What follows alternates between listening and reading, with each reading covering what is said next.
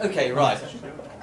What I want to do is to introduce you to what's going to happen a bit this year and what this module, Sustainable Information and Corporate Governance, is all about. one of the interesting things is we are one of the very, very few universities with a module on governance as part of IT or analytics. That's partly because of my background, partly because of my interests, uh, and because it has such an enormous impact on what's going on. And what we'll be looking at, I mean, you looked a little bit a couple of years ago in IT services management, or last year for some of you, uh, at some of the failures of IT and some of the causes of failure, and uh, that's what we're going to be looking at um, mainly this year. We'll also be looking at not just IT governance, but also what happens when the world of uh, corporate governance fouls up a bit. And we've seen an astounding number of those fa failing over the last uh, few years. And interestingly, I'm sure many of you know that I get, get involved with business conferences, and I'm doing a couple over the next month uh, about the impact of big data on the governance um, and on software testing and how testing uh, impacts upon success rates. So the module Sustainable Information Corporate Governance.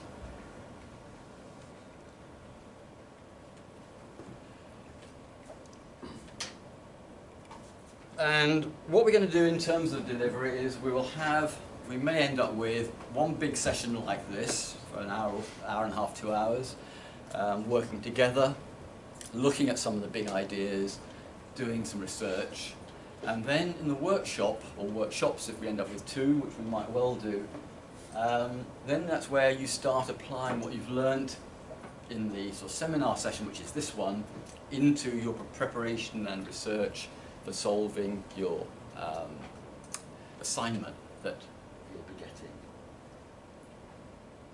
And like always, somewhere around week eight or thereabouts, well, we won't have any sessions in here. You'll come up to my room and you'll have your usual formative uh, feedback session uh, with the rubric and everything else. And then you've got until just after Christmas when we'll do the same sort of schedule through my office uh, the first week of January, January 3rd or 4th I think it is. And that's when they'll be marked. So that's why it's kind of called blended face-to-face because that's what's happening because you've got these face-to-face -face sessions and the workshops where I and my colleague here, uh, Winnie McKindy, who is um, going to be helping on the tutorials. And because uh, she's got an interest in governance. And she's just finishing off her PhD at the moment. And that looks at things like, uh, you said it was social media and how kind of reliable it is or isn't which we already know from the work you did with your ICS and uh, in ITSM. Um, social media are kind of a bit random in what they actually capture. Now we know that modern companies are getting really hooked on big data. All this massive amount of data that's sitting out there somewhere in their own corporate data stores, in Twitter and elsewhere. And we know also in the work you did last year with uh, some, on ITSM, you saw that Standish Group record, uh, data shows that IT is remarkably um, value destructive. It's only about less than 30% of IT-related projects are on time to budget and deliver some benefit to the business, and the rest are challenged or fail. And it's really quite interesting that companies continue to think about, we're going to be successful. We're going to make, we're going to be like those 5% of companies who are up there in all the conferences telling us that we can get 5% improvement, 10% improvement on our turnover, our profit, or all these things. And most people are not going to be successful. and so we're going to be looking at things like corporate governance, information security, we're going to look a little bit at IT law, we're going to look at some corporate and information strategy, things to do with uh, building on what you did in ITSM about effective and successful delivery of projects, particularly IT projects. We'll be looking a little bit at ethics, because that's becoming more and more important.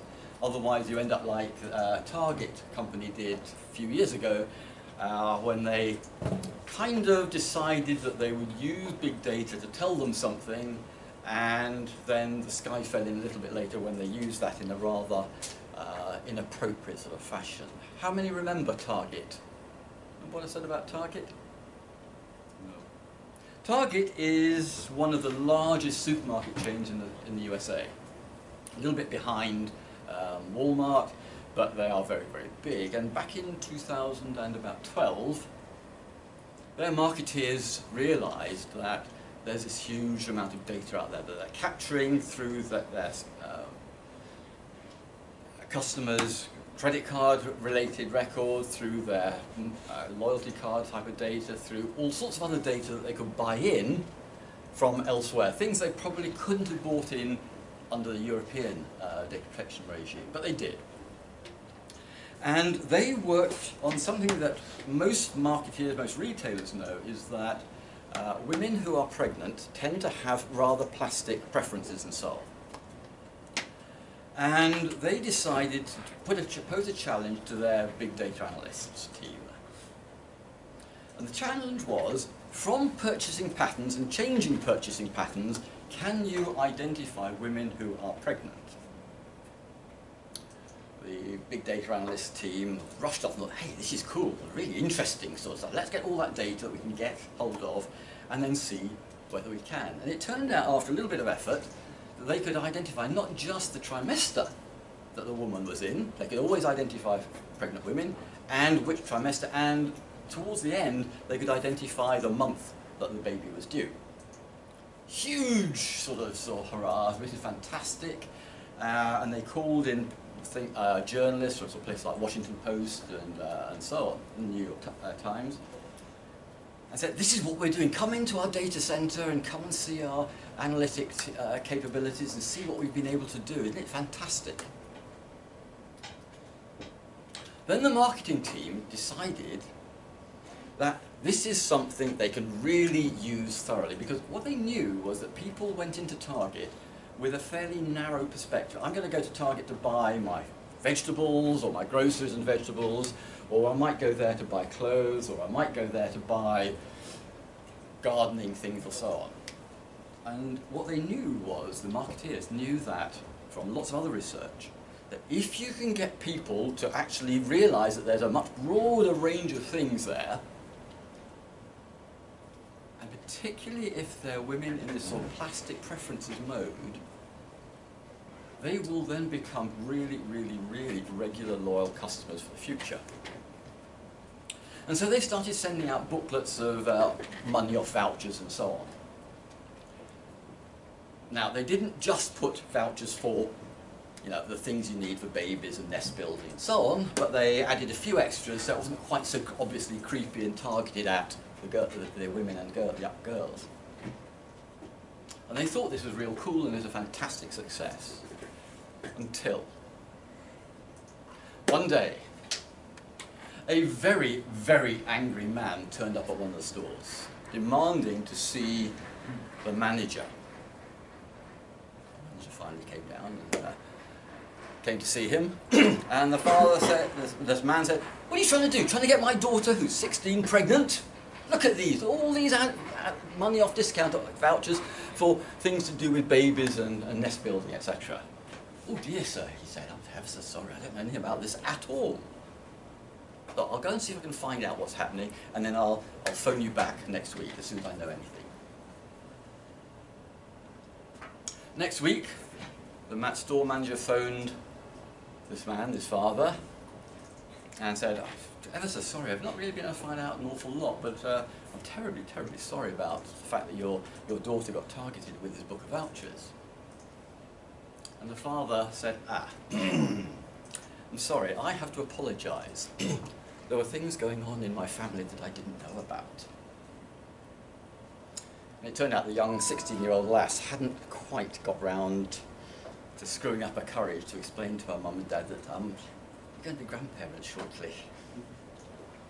Now that was one incident, there were several others, uh, including where emails went to various customers and partner, uh, male-female partners sharing similar, sharing the same email address, started getting these, and sometimes the bloke read the email before the wife or partner had read it. And this was the first he'd heard of the fact that she was pregnant. And sometimes it was a woman was the first she heard of that she was pregnant and discovered that actually, yeah, she was. Are you in the wrong module or something? Uh, no, I'm not in this class. Ah,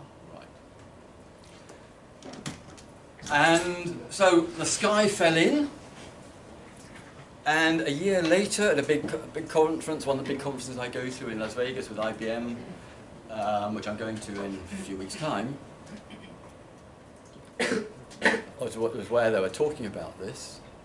And it, came the, the, uh, the, marketing team and everybody else at Target closed down the whole thing. No more um, access by the journalists, the data science team, uh, no, it never ever happened. Unfortunately, you can actually go and find out there in the newspaper um, repositories the actual original articles that they wrote about this fantastic uh, activity. Now this raises huge questions about the ethics of what we should be investigating and what we should be doing at a corporate level with that knowledge we have pulled together about our customers? Are there, and we'll, we'll discuss this a bit later on, are there questions that we should not even be asking of our data as a matter of ethics? Or is it that we can ask the question of the data, but then the ethics comes in with what we do with that new knowledge we've got? So did, was the ethical failure, the governance failure in Target to do with doing that experiment or that analysis, or was it in the fact they then went out and started targeting their customers with that knowledge? Technically they proved it. Hmm? Technically they proved it worked. They proved it worked, and therein was the danger. And you won't find any, I don't think you'll find any retailer doing that sort of targeting again, using the word targeting twice. Now, we've got an awful lot of use of private cloud, public cloud, and hybrid cloud. We're using, we're finding an awful lot of debates about who owns our data. Where are the ethics, where are the laws? What do they say about the sort of data that is being collected? Things like those boxes that go in the back of your car that for your insurance.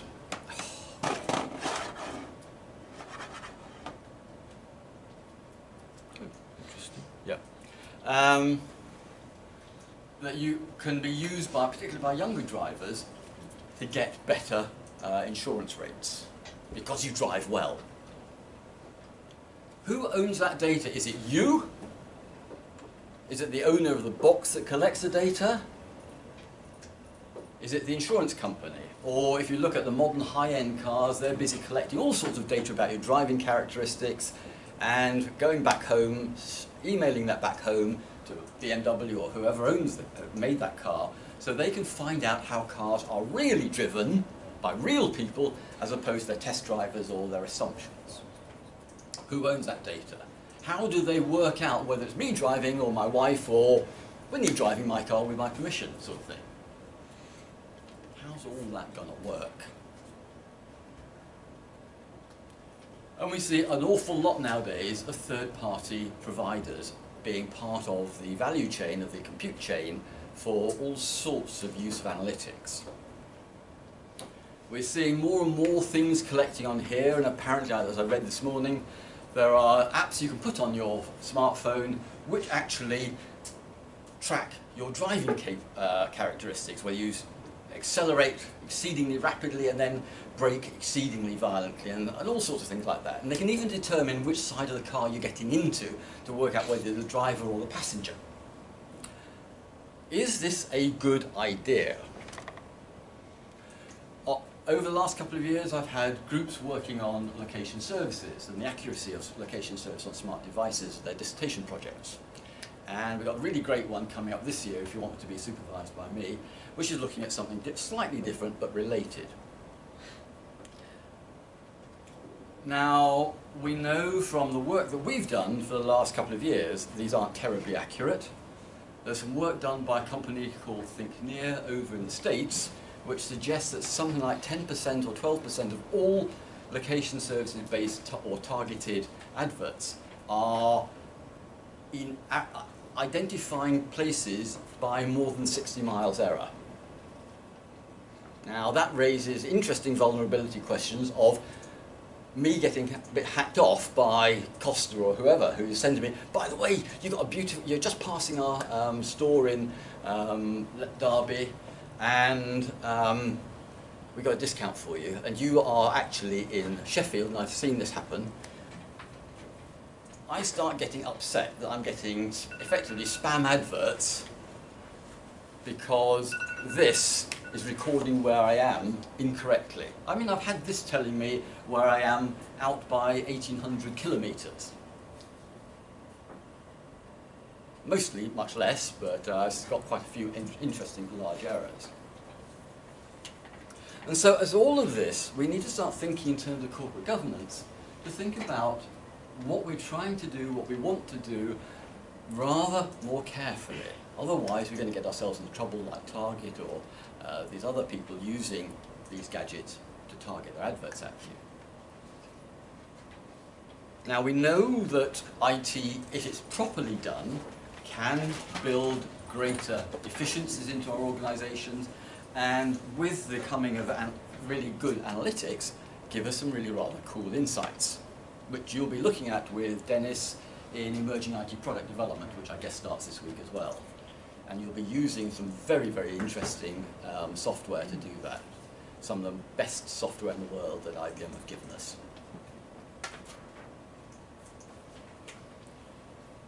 And so, one of the questions, again, that comes back to is what Nick Carr said many years ago and has written about over the last few years, is that IT now is essentially a utility. Whether you're using world leading edge software like Watson Analytics, which you'll be using in EITPD um, or in other modules. All these sort of things, it's to do, the software is effectively a utility. Everybody has access to it and the thing that makes us different from our competitors is how we actually harness this utility. It's like electricity. It's a utility, or water's utility, or gas. You don't expect to get a business benefit purely by using electricity, gas and water, or even the internet. It's what you do with it. And so we again will be looking at that as well. Now if you look back, look at this one here. If you go back 30, 40 years, um, mid-60s, a bit further back than that, American Airlines and IBM created the Sabre um, computerized reservation system huge effort in then money about $5 million, today's money $50 million perhaps. And for 15 years, that set American Airlines sort of ahead of every other airline. Then IBM, with their 15 years of experience, re-engineered Sabre and created a new one, which they then started licensing out to many, many other airlines around the world. American Airlines, because of all this customized stuff they'd done with Sabre, found it very difficult and impossible, in fact, to switch from Sabre to the new one. Suddenly, all of their competitors were on an effectively level playing field, or even a little bit further ahead than they were. And today, if you look at big things like enterprise resource planning systems, ERP systems, or whether it's analytics systems like SAS or Watson Analytics, even Tableau, they're all standardized systems that do things. The same things for everybody. And the only way you get an advantage over your competitors that works into the long term is if you are using those insights more cleverly than your competitors. So we'll be looking at some of these aspects as well. A little list of some of the more interesting catastrophes of failures of governance over the last 5, 10, 15 years. lots and lots of risks relating to use of IT, whether it's mainframe, apps, analytics, what, whatever it is. One of the things that comes out of all of this is that we always tend to think, because of the press, that financial services are the worst, most value destructive industry in the world. Because, you know, we had the credit crunch and they wiped, I don't know, 15, 20, 30 trillion uh, dollars worth of value off their shareholders, maybe more. IT at its lowest estimate is able to destroy something like half a trillion dollars, 500 billion dollars of value a year. on, the, on the most aggressive uh, version, which I tend towards believing is a more accurate one, it is about six trillion dollars of wasted expenditure, wasted resources. And the world only has a GDP, a gross domestic product, of about 65 to 70 trillion dollars a year. So IT is capable, both because of the failures of, IT, of the software, the limitations of the software that's implemented, the fact that we all have to do all sort of workarounds to, to actually get our job done. And those of you who were out on placement last year will probably have seen how lots of IT need, was supposed to solve a problem and then causes you to do more and more and more other things just so that the job can get done. And that extra effort is included in that $6 trillion. The most value destructive industry, perhaps, in the world. Kind of interesting when we sell IT as a great benefit, the thing that makes work, the life easier. When was the last time you found IT made your life easier? I can order something overnight with Amazon Prime and get it delivered tomorrow. That's nice. Calendars on your phone. Pardon? Calendars on your phone. Calendars on your phone, that mostly works quite well. Internet banking on the phone. Yes. Do you trust it? I do, because I've only got the one. yeah. So, I mean, there are parts that actually do work. And when it works, it's kind of cool. But there's an awful lot of things that don't work terribly well. I mean, talking to lots of colleagues, lots of people at the IBM conference in Vegas over the last two, three years uh, who've got long-term experience of IT like I have, people like Dave Voorhis. You know, our perspective is IT today, the apps we have on here, quite a lot of the software we have on our PCs and on our mainframes is less reliable than we have ever seen it.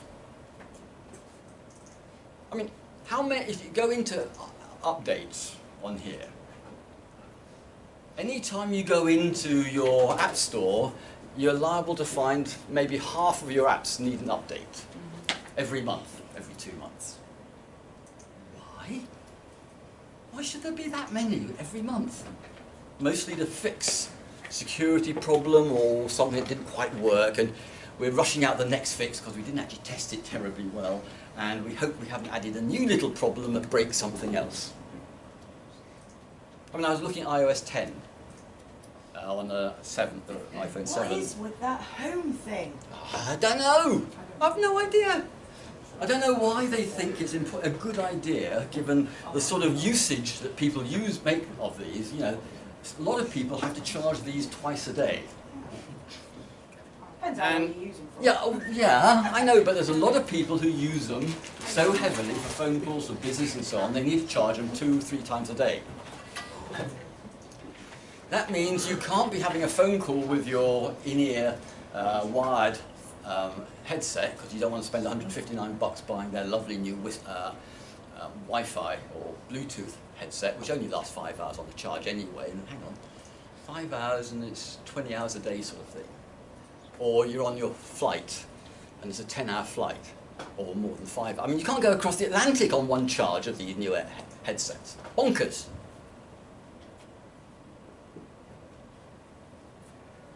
So what we're going to be looking at is a whole set of questions and frameworks that you will be will find enormously valuable in looking at a particular context, any context, finding out the interesting questions that you need to ask, i.e. that problem identification I talked about uh, on Friday at the induction,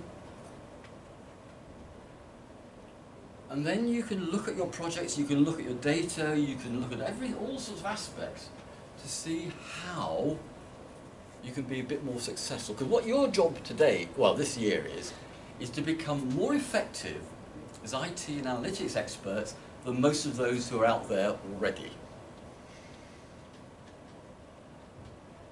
You can become valuable to future uh, employers because you understand how things interact, you understand how to find out really good questions and then quite good answers about the project, about the data, and so on. And next semester in uh, Enterprise Systems and uh, Information Security Assurance, you'll be looking at extending the current 12, 13 Vs of big data and project governance to a few more, if you can find some more interesting words beginning with V, that help you to ask more interesting questions. Because many of the people who publish all of these analytical frameworks, whether it's ISO 27000 series, whether it's the ISO 3100, uh, and, and, and, and, lots and lots and lots and lots of governance framework, project management frameworks, um, ways of doing, uh, sets of um, analytics, functionality and capability. And most people will be teaching will be teaching you those. These are the answers. If you do 27001, I say 27001, then you will be successful in information governance. No, because it's tick, tick, tick, tick, tick. And mostly we can tick, tick, tick, tick, tick, and pass the, um, the questions quite easily, and still make no change in our ability to do things right. What we need to do is actually use these frameworks as a way of asking questions. Comes back to what I told you in ITSM and in Intro to Computer Science, I don't teach you question answers. Only teach you questions. Because every scenario is different, the context is always slightly different or big, uh, different in major ways you need to work out what the differences are. You need to work out what are the most important questions that will lead you to a successful project. And that's what we're really going to do here. And it will link back to IT services management and it will connect across to what the other modules you're doing this semester, this year, in terms of emerging IT product development, advanced analytics, enterprise systems, um, and so on.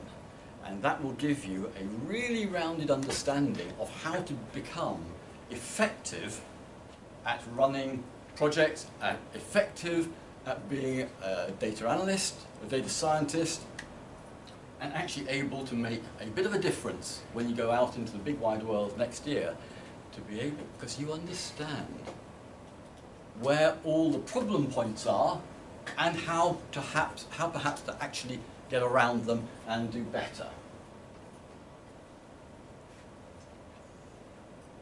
So at the end of the module, these are the three learning outcomes.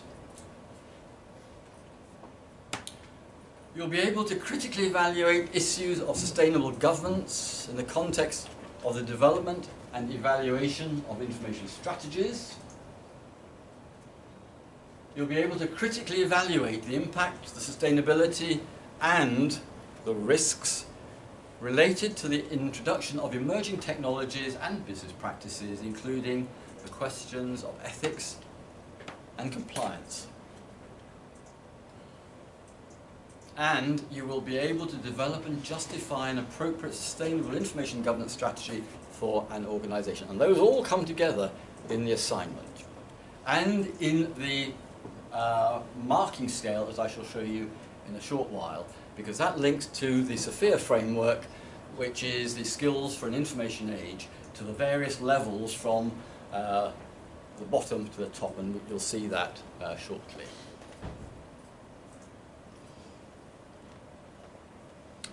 We'll cover things like the um, law aspects applying to the UK uh, corporate uh, governance, the ISO 27000 series of standards, and the one that we work with most is 27002, which is a set of 180 or so individual questions that you ask yourself as an organisation based on the risk assessment you've undertaken beforehand to identify what is most risky for you.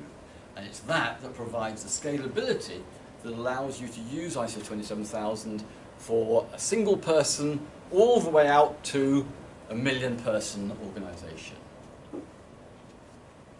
We'll think a little bit about the value of IT, the value of information, the value of knowledge, uh, connecting to people like uh, Strassmann, and Paul Strassmann and uh, Brynjol- Brynjolfsson, who've done a lot of work about the fact that IT, although it has provided a lot of benefits and efficiencies uh, in white goods, electronics, uh, and the sort of manufacturing area, it is incredibly difficult to identify any bottom line benefits for white collar office activities.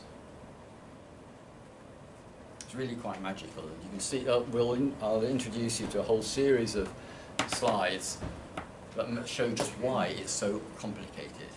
And so it also raises interesting questions about were they measuring the value of IT in the most appropriate way? We'll look at the Standish Group research. Uh, we'll think of, uh, there's a lovely book down in the library by a guy called Ciborra, called From Control to Drift, that looks at how IT over the years has looked at the concept of corporate strategy and has it worked? Does it actually deliver what the man- senior management are wanting it to deliver? Then we also step back from some of these rather grandiose and magical big frameworks and analyses and start thinking sensibly, pragmatically. Because an awful lot of what goes wrong with IT, whether it's in terms of security uh, or whether it's in terms of project failure, over optimistic uh, targets and so on, is because of human factors. The way that we as humans actually behave compared with what some of the assumptions are.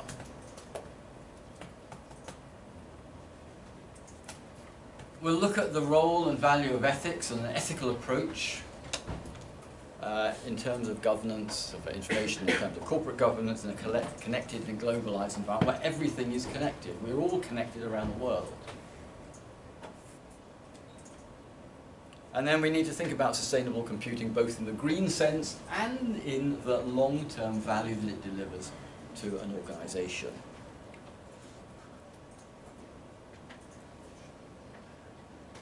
And then we look at bit more of the UK law, we look at corporate social responsibility and its impact on reputation or lack of.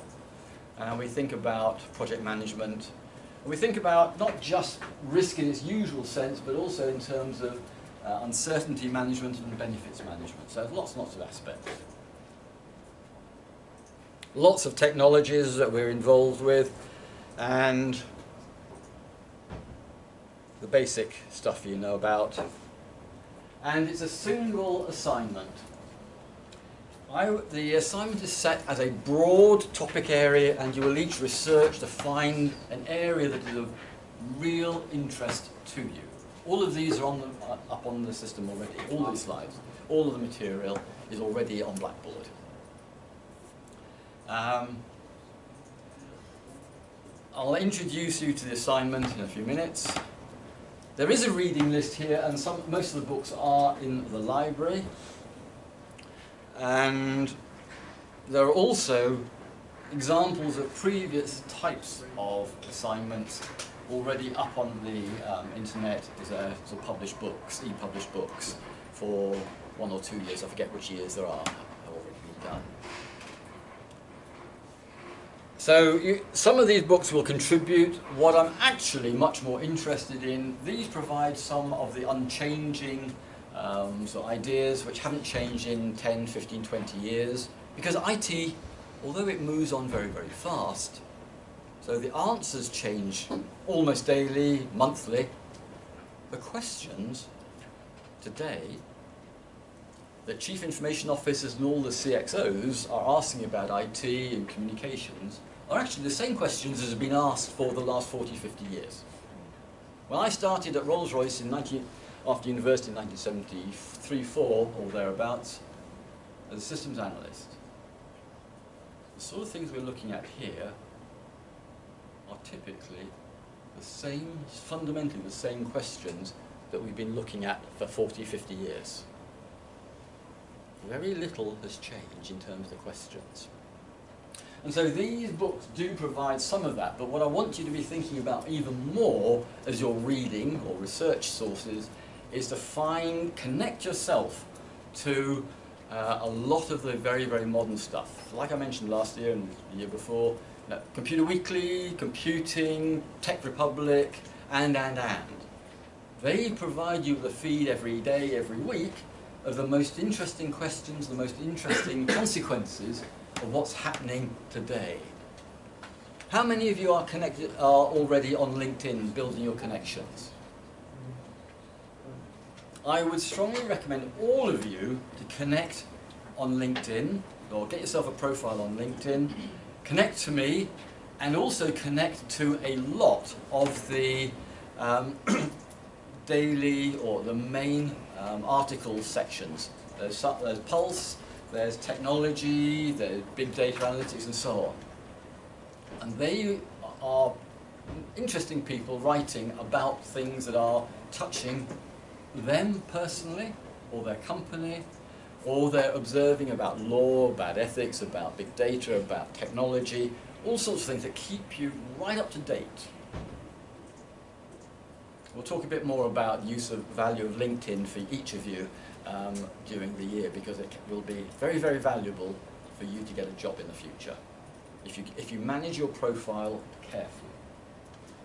So I'm looking more for your research as you develop your assignment and your understanding week by week of the various topic areas that you are not restrain, restricting yourselves to here other than for a few questions a few insights, but also all of that online stuff because if you look at the reputable press um, for computer science, IT, big data, they are the things that are currently keeping chief information, chief security officers, chief data officers and so on awake at night. They are the leading edge and your assignment will be leading edge. So you will be using the internet as a sort your major source, as long as you keep away from the wikis. You are not allowed to cite wiki something, ever. Not for anything. You can have a look at it just to get a feel, but then you go off and find the real stuff.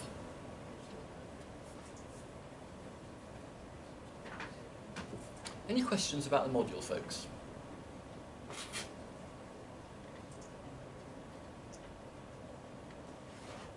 It seems sort of vaguely interesting, perhaps? As long as you keep awake. okay, right, well, I'll switch this off and then switch it back on again in a second.